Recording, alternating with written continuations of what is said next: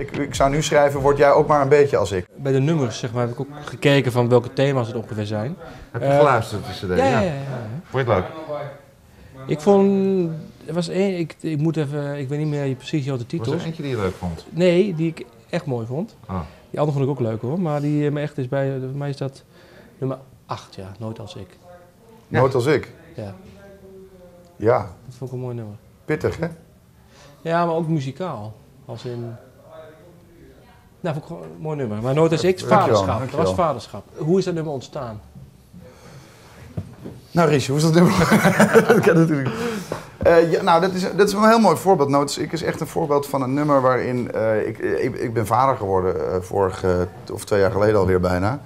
En ik heb de eerste maand eigenlijk in een soort van roes van alcoholisme en wanhoop geleefd. Eigenlijk van hoe heb ik het in godsnaam zo ver kunnen laten komen? Hoe heb ik nou een kind op de wereld gezet? En, en ze moet mij als voorbeeld hebben, ook nog een keer. Ik ben in ieder geval 50% van haar voorbeeld. Wij vonden dat ook allemaal een, een, een angstige gedachte hoor. De familie waren ze er ook al zo heel blij Oh, oh. mee. eh. Dus, en, en dat heb ik proberen weer te geven in een tekst als Nood als ik. Dat ik dacht van ja, het is, ik vind het zo'n enorme verantwoordelijkheid. Het stamt echt uit die tijd dat ik een beetje in de war was van het feit dat ik vader was, zeg maar. En ik dacht van nou, als jij maar op je moeder lijkt, dan, eh, dan is 50% in ieder geval zit oké. Want ik vind zelf best ingewikkeld leven. En ik wil dat helemaal niet overbrengen op mijn kind, zeg maar. En dat is, eh, dat is ja, het liedje Nooit als ik geworden.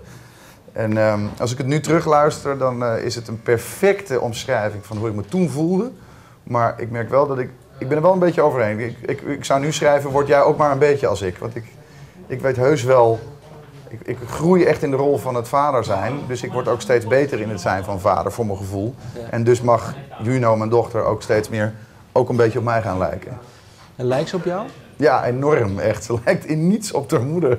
Ik heb een hele kleine, donkere vrouw en ik heb echt een gezellig Germaans blond kind gekregen, zeg En maar. eh, qua gedrag, als je dat natuurlijk al kan zeggen, dat is natuurlijk moeilijk. Maar wat je hoort van je vader en je moeder, mochten die nog leven. Ja, ik was, ik was een ongelooflijke eh, leuke baby, heb ik me altijd laten vertellen. En Juno is erg driftig, maar ik ben als man nu vrij, kan ik heel driftig zijn.